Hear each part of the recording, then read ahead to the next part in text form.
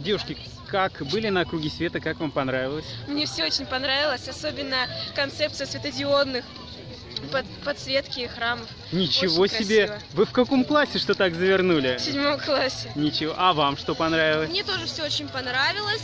Особенно понравилась э, мистическая спящая красавица.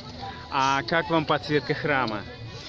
Просто прекрасно. Никогда не видела храм э, в ночь, особенно как он В Коломенском, светится. да? Да. Здорово, супер. Ну ладно, не Да. буду задерживать. Пока, спасибо.